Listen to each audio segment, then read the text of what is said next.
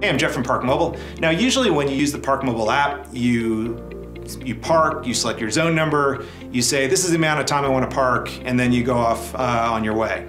Um, but some locations where you park do it a little bit differently. I'm going to show you one example now. If you park in certain areas, and I'll, I'll pick uh, Myrtle Beach, South Carolina, for example, you actually don't choose the amount of time you want to park. Uh, so it's a little bit different than the normal parking you see in most areas. So if you're in Myrtle Beach um, it, and you pull up a zone number, it says your total will be calculated when you end your parking session. So basically, you start a parking session without knowing how much time you're gonna have, and you just start it.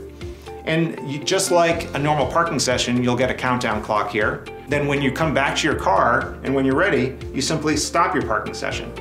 So what they do in this case is they're only charging you for the amount of time you're actually parking in that spot. So again, this feature is not available in every location, but where it is available, it's a nice way to make sure you're only paying for the amount of time you're actually parking. So look for that feature in the ParkMobile app.